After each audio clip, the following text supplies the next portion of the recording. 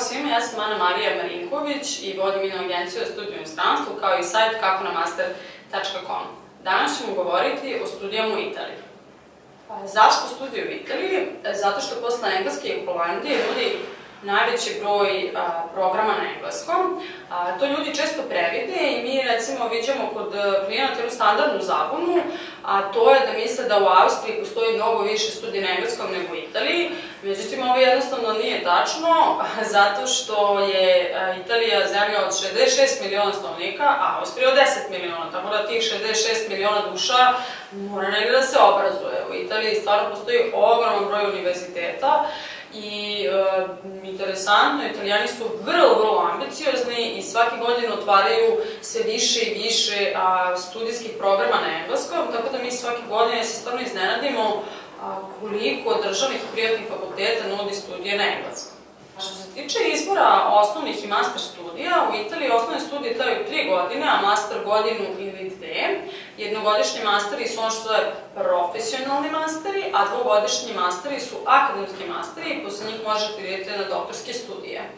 A, Italija je naravno čuvena po studijama mode, biznisa, trgovine, kulinarstva, ali takođe i za studije marketinga, brandinga, kostima i dakle svih tih stvari u kojima je Italija jako dobra.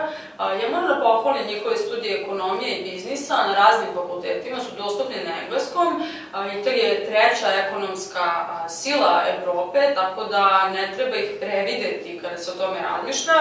Često neko kad sreća predrasude da Italija, ne znam, neorganizovana ili tako nešto i istina je da su oni ipak jedan mediteranski narod i nikad neće biti Finska, ali s druge strane njihovi univerziteti što se tiče i upisa i samog trajanja programa mogu biti vrlo, vrlo dobro organizovani. Mi smo drugi najveći svetski rekruter za katoliku i šaljemo tamo zaista dosta studenta svake godine u Milanu i u njihove druge kampuse i znamo da su naši svi studenti bili vrlo zadovoljni. Tako da Italiju svakako treba da imate u vidu.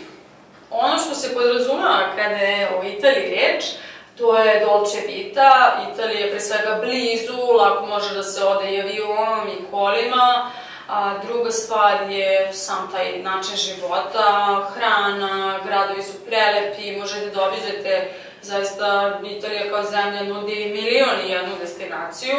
A, sam život recimo nije skup, a, osim možda u Milanu i Rimu gde je skuplji odnosu na druge gradove, ali zaista jedna zemlja koja ima fenomenalan odnos cene kvalitet kada govorimo o studijama. A, još jedan razlog zašto je Italija toliko popularna za studiju u stranstvu su njihove stipendije.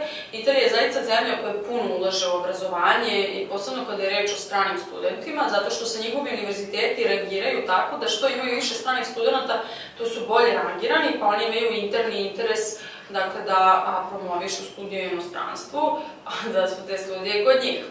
A, stipendije mogu i, postoje na tri nivoa. Prvi je nacionalna, odnosno to je ona stipendija koja daje Italijanski kulturni centar, u stvari je to vlada Italije za koju u suštini treba da imate B2 nivo znanja jezika ili još bolji sertifikat. A, drugi vid stipendija su univerzitetska, odnosno umanjenje školarina ili za troškove života i preko nas se možete prijaviti na više univerzitetskih stipendija za Marangoni, za Univerzitet Lin Campus u Rimu ili za Katoliku. 70% naših klijenata koji ode na studije na Katoliku je dobilo umanjenje školarine i ja mislim da je to do sada kumulativno neki iznos možda i od par stotina hiljada evra.